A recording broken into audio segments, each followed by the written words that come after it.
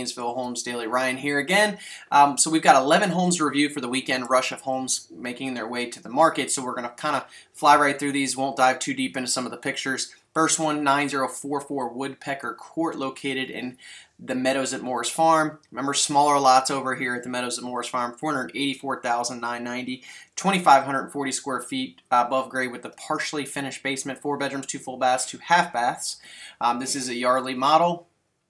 Built in 2006, so it's a relatively young home, eight years young. There's some of the trails, hardwood floors in the, in the interior here.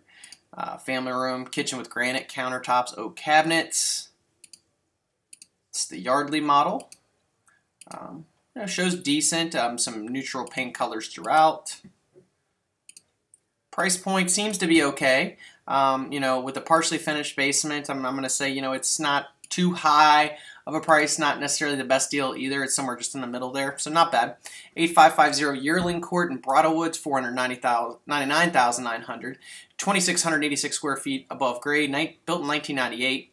It's uh, four bedrooms, three and a half baths, just over a quarter acre lot, fully finished basement.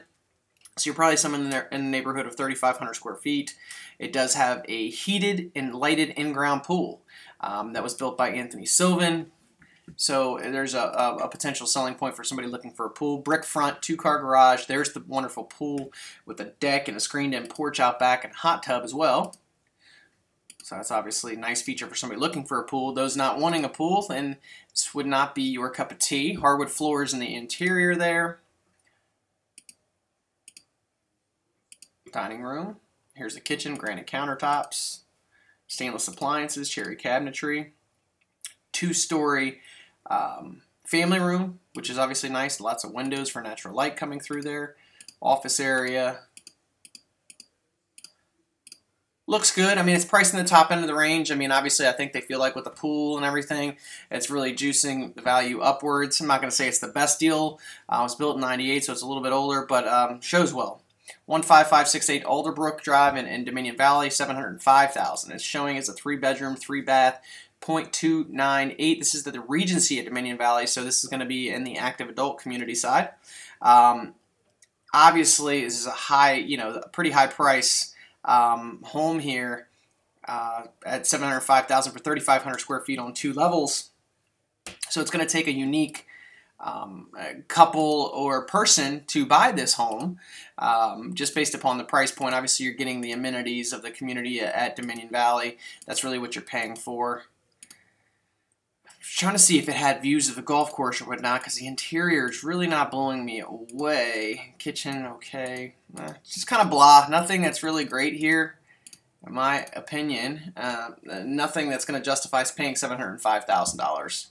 7680 Vinewood Court in Virginia Oaks, 454,900, 2,457 square feet with an unfinished basement. Four bedrooms, two and a half baths, 0.20 of an acre, two car garage there in the front.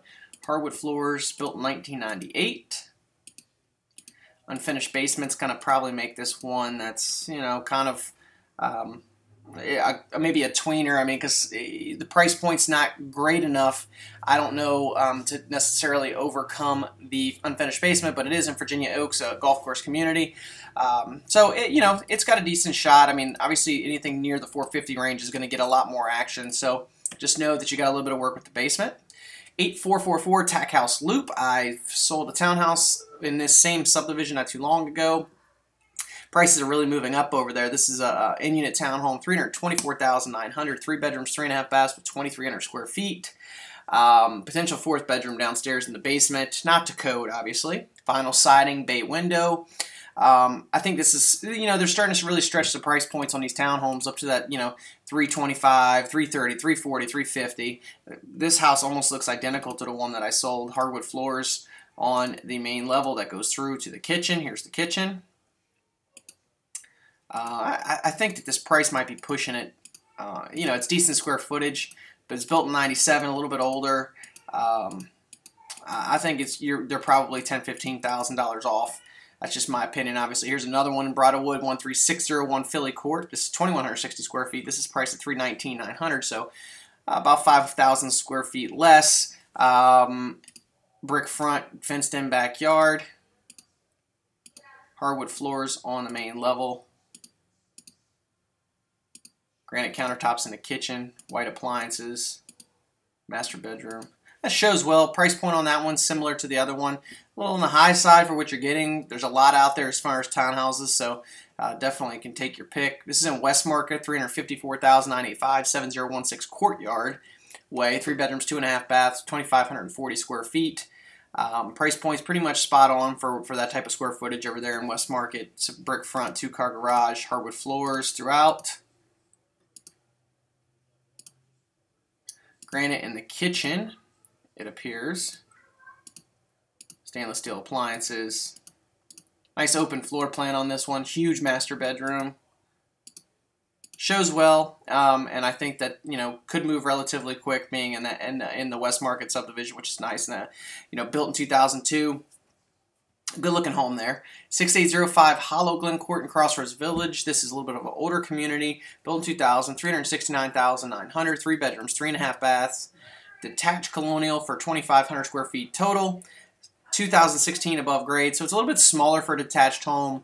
But I think once again, anything under you know 375,000 for a detached home, uh, it's got a one-car garage, is definitely worth looking at, and this is no exception. The price point is really going to be the best um, uh, the thing that you want to consider the most because there's just not much out there under 375 for 400,000 for that matter.